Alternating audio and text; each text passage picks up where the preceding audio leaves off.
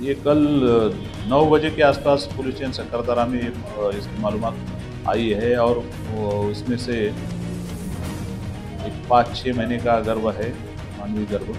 किसी ने तो भी अननोन कारण से वहाँ उसको छोड़ दिया है और उसमें I P C three eighteen के अनुसार गुना भी दाखिल हुआ है। उसका तपास चालू है। फ़िलहाल C C T V footage वहाँ आसपास तुरंत नज़दीक नहीं है। तो इसके बारे में अभी तपास होने के बाद यहाँ सविस्तर माहिती दे सकते हैं।